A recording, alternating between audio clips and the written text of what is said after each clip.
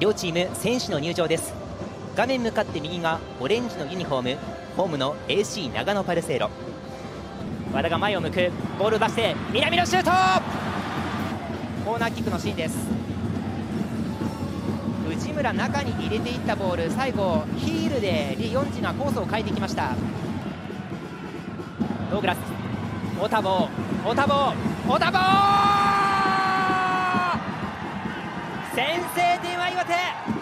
タボー2試合連続得点です。オタボーケネス先発の起用期待に応えました。ここは冷静にシュートを放ってゴールネットを揺らしていきました。オタボーケネスです。浜田も飛びついていったんですけれどもここはボールはネットを揺らしています。シュタルフ監督が警戒しないといけないと名前を挙げていたオタボーケネス。いただきます。南。佐藤美優追加点だ。佐藤美優大卒ルーキー今シーズン4得点目。長野に対して大きな追加点を奪いました。で最後シュートを決めていきました。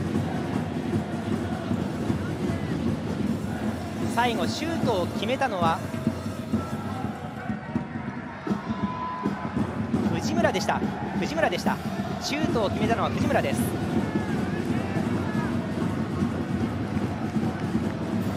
南からのパスを受けた藤村が左足を振り抜きました。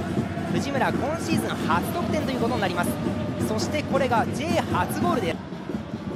抜け出した山中亮。山中落とす。左足!キーパー丹野よく防ぎました。丹野健太のファインセーブ飛び出しました。リードしている岩手がボールをコントロールしています。水の中に入れていく。シュートにいった決まりました。岩手この後半アディショナルタイムに追加点です。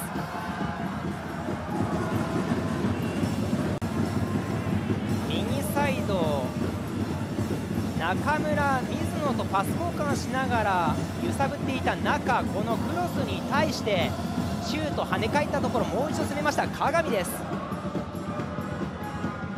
鏡がシュートを決めました。今シーズン3得点目がこの大きな追加点となりました。岩手です。